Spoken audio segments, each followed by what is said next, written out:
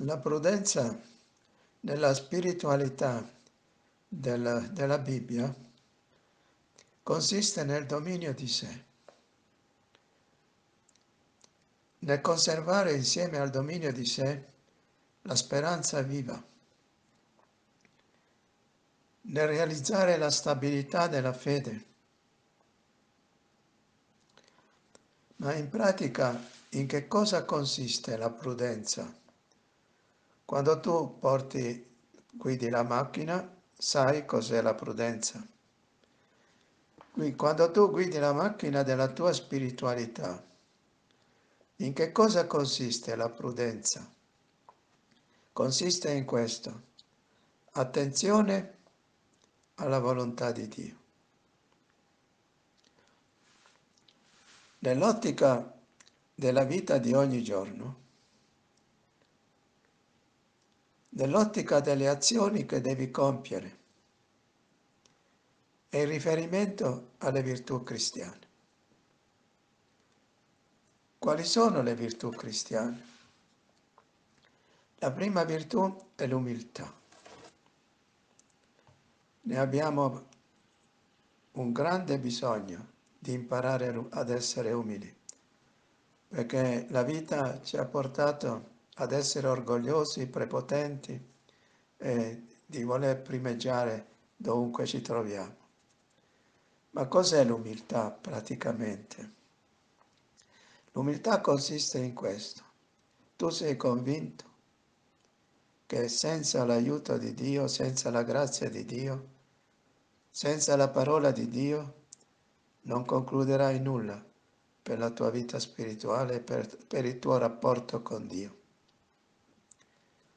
C'è poi un'altra virtù, la fede. La fede consiste in questo. Tu hai fede nella, eh, nel medico se prendi le medicine che lui ti dà. Tu hai fede in Gesù se metti in pratica la sua parola. La sua parola è semplice, però in quella semplicità ci sono dei principi fondamentali della vita cristiana e anche della vita di santità. C'è poi un'altra realtà, la speranza e la carità. La speranza, noi siamo cristiani, siamo stati battezzati e ci impegniamo a mettere in pratica la parola di Dio per poter realizzare in noi quell'opera di santificazione che lo Spirito Santo compie in tutti coloro che credono in Cristo e la speranza di perseverare fino alla fine. E poi il dominio di sé consiste in una maniera particolare nella carità, nell'amore al prossimo. Bisogna essere prudenti nell'amore al prossimo, perché l'amore al prossimo, nello spirito del cristianesimo, non consiste nell'affetto che devi andare ad abbracciare, a baciare questo o quell'altro. L'amore al prossimo consiste nel realizzare un rapporto con, secondo i principi della vita cristiana e quindi aiutarsi a vicenda, sostenersi a vicenda, specialmente quando ci sono le difficoltà, quando ci sono le tentazioni. E qui subentra nella carità eh, tanti momenti. Nessuno può bastare a se stesso nella vita cristiana. Tutti noi abbiamo bisogno degli altri.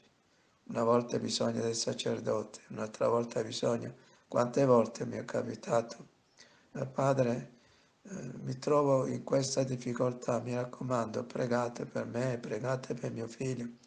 Quindi c'è questo, questo, questa tendenza a realizzare la carità.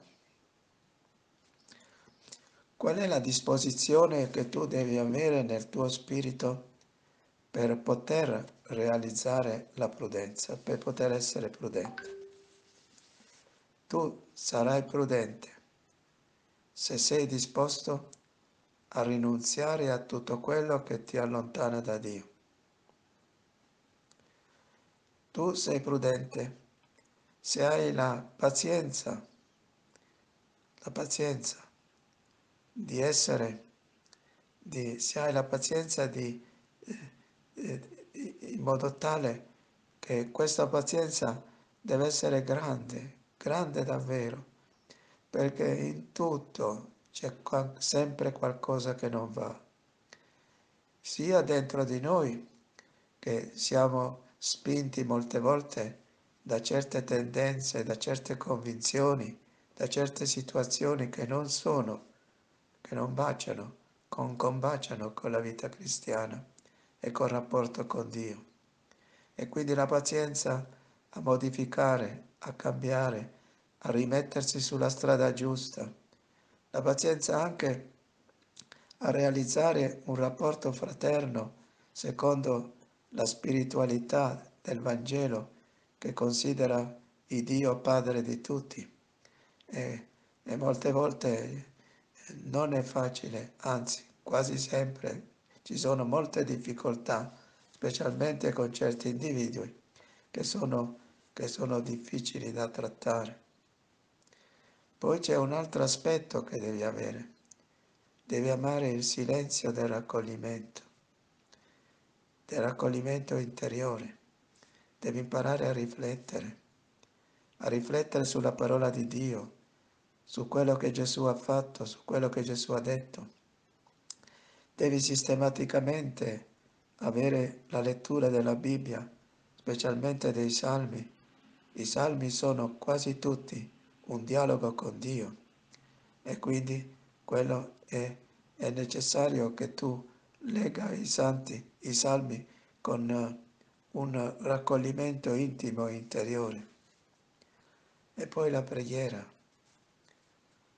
Se tu non hai tempo di pregare, allora io ti dico, non hai tempo per il Dio e Dio non ha tempo per te.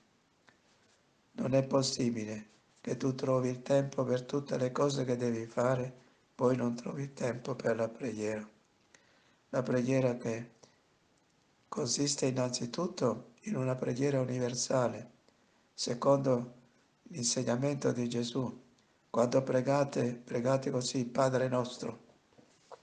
Quindi anche se tu preghi da solo, preghi Padre nostro e allora ti metti in contatto con quello che attorno a te o lontano da te eh, vive in difficoltà, problemi, guerre, divisioni, di realizzare la preghiera come un chiedere continuamente a Dio che interventa per mettere in ordine tante cose sbagliate che gli uomini e le donne fanno.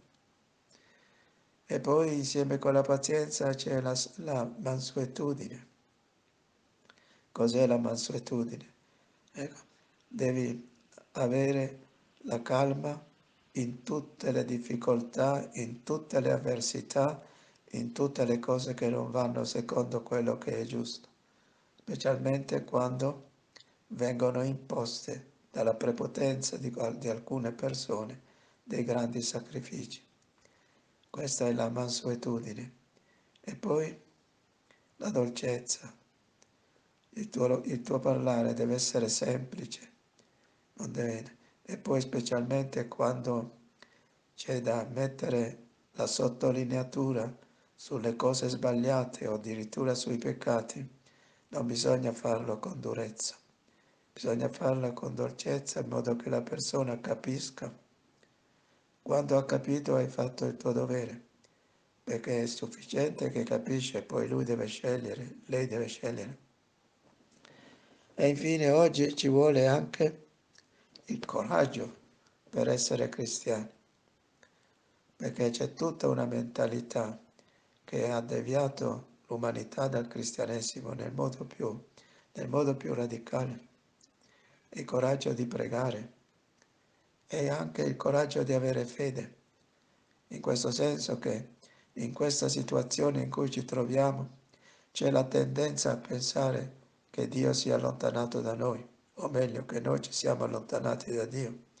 che noi ci siamo allontanati da Dio, è vero, ma dobbiamo avere il coraggio di non dimenticarci mai che Dio non si è allontanato mai da noi. Gesù Cristo ha detto, io sarò con voi tutti i giorni, fino alla fine del mondo. E poi bisogna che per realizzare la propria fede bisogna avere una certa fermezza nell'affrontare le difficoltà, nell'affrontare i disagi che vengono appunto dall'essere credenti nel mondo di oggi. Quindi la prudenza è luce che ti fa vedere la volontà di Dio. Deve essere animata dall'amore che Dio ti dona. Questo amore ti fa compiere le azioni buone nel modo giusto, secondo la volontà di Dio. La prudenza è la verità che viene dalla carità. La verità senza l'amore di Dio è una semplice cultura, una cultura umana, uno studio. La prudenza diventa l'anima dell'amore e la forza del dolore. La preghiera orientata, la preghiera orienta la prudenza verso la volontà di Dio. E questo avviene specialmente quando lodi qualcuno. Allora la prudenza ti fa dire le parole giuste. Lodi secondo la giustizia. La correzione è animata dall'amore. La prudenza dona la forza di Dio alla dolcezza umana. È una virtù cardinale. Mette in movimento tutte le altre virtù. La sua perfezione è la perfezione di tutte le altre virtù. Completa la perfezione la prudenza. Completa la perfezione delle virtù cristiane. Fa esercitare le virtù in modo giusto. Esse diventano efficaci e infine dona la costanza di saper perseverare in tutte le virtù cristiane. Amen.